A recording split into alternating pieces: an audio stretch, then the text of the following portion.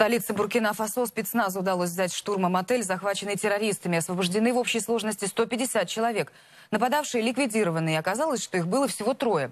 Боевикам удалось расстрелять более 20 постояльцев. Местные власти пытаются установить гражданство жертв. В стране объявлен трехдневный траур. В нашем медиа подтвердили, что россиян среди погибших и пострадавших нет. В популярном среди иностранцев отеля проживали люди из двух десятков стран. Ответственность за атаку взяла на себя группировка «Аль Мурабитун, западноафриканская ячейка Аль-Каиды. Ее боевики по такому же сценарию атаковали два месяца назад гостиницу в соседнем Мали. Алексей Багин с последней информацией. 27 человек погибли, еще 6 ранены. Взрывы в столице западноафриканской страны Буркина-Фасо прогремели один за одним. Террористы спрятали взрывчатку в автомобилях, припаркованных у стен популярного среди европейских туристов отеля «Сплендид». После того, как две легковые машины на глазах у растерянной охраны взлетели на воздух, события стали развиваться, как в голливудском боевике. Вооруженные люди ворвались в кафе, расположенное у гостиницы, а потом, проникнув в отель с разных входов, забаррикадировались на верхних этажах, где находятся апартаменты апартаменты класса люкс. Дорогие номера боевики выбрали не случайно. Оттуда хорошо видны, а значит неплохо простреливаются окрестности. И что самое главное, в них обычно останавливаются сотрудники ООН. Среди убийц были женщины. Да, черная женщина с молодой чернокожей подругой. У них еще были дреды. А еще среди нападавших было много молодых арабов. Когда они вошли в кафе «Капучино», сразу стали кричать «Аллах Акбар!» Агрессивные, с автоматами. Одного из них потом застрелила полиция. После нападения на Капучино полиция насчитала на террасе 10 тел погибших, в основном туристов. Но среди потерпевших оказались и местные жители, случайные посетители заведения.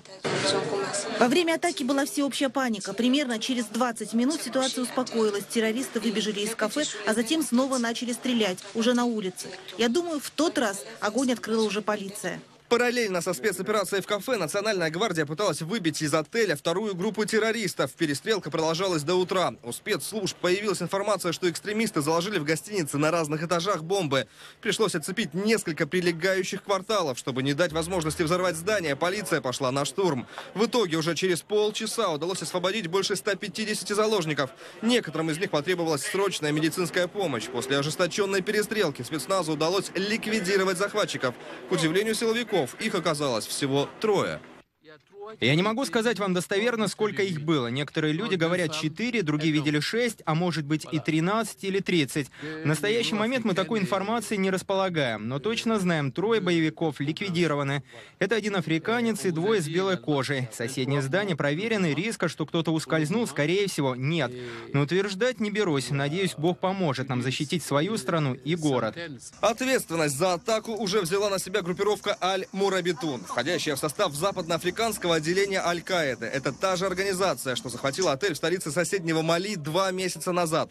Тогда жертвами нападения стали 19 человек, в том числе шестеро россиян. В этот раз от рук террористов пострадали туристы из 18 стран. Российских граждан среди них не оказалось. То, что Уагадуга, столица небольшого и к тому же не самого богатого государства, была выбрана в качестве новой мишени международного терроризма, символично. Эксперты уверены, очередным нападением экстремисты дали пощечину западной антитеррористической коалиции. Сегодня в Буркина-Фасо базируется значительная часть сил крупнейшей антитеррористической операции французской армии «Баркан», в которой задействовано более трех тысяч военнослужащих, более 20 бронемашин, там э, истребители, транспортные самолеты и так далее. И штаб этой организации, штаб этой операции находится э, в Агадугу. Получается, местная национальная гвардия, жандармерия, натовские спецслужбы и целый штаб по борьбе с терроризмом проглядели дерзкое нападение. И более того, сейчас, уничтожив всего троих джихадистов,